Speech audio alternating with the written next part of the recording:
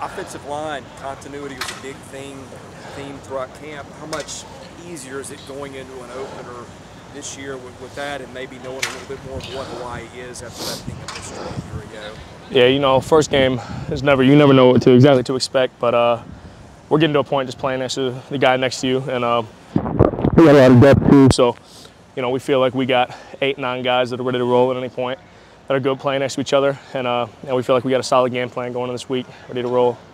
You guys feel like you've handled the heat better than, than past camps, and you've been here a while. Is that a, a true statement? Yeah, no doubt. We learned to play in the heat. It's an advantage for us. So, just uh, learning to deal with it, and uh, part of our play style, right? So, grimy, gritty play. Where did, where did off-season conditioning get you guys ready for that? Yeah, Coach Horgan and his staff does a great job uh, getting us ready, uh, conditioned to handle all the heat and everything like that. So, uh, yeah, all, a testament to them. Um, they do a great job getting us ready for all this.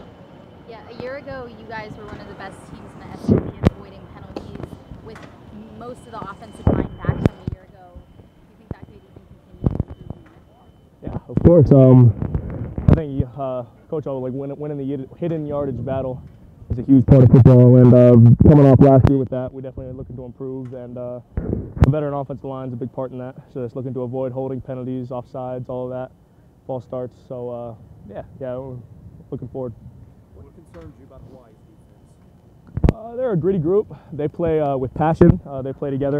So um, yeah, they, they're an aggressive team. Uh, their D line is aggressive up front. Got a big interior guys, some shifty guys on the edge, but uh, just looking to go in, play our style of football, get it done. What did it mean you being named captain? it's uh, been a long journey, and uh, for those who know me, know that it's been a how to say like a rock, a rocky road, ups and downs, and shit. Um, and obviously this is one.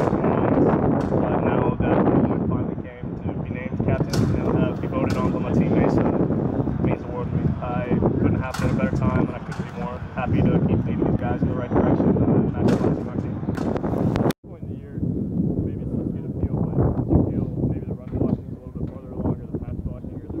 feel, feel we're pretty balanced. Uh, I would say obviously we're always going to rely on our run game uh, as a dominant part of our team. But as an O line, we're pretty complete. We can do it all. Protect the passer, uh, gaps, zones, runs, uh, all different schemes. Uh, we're doing it all, so I'm doing it all at a pretty high level.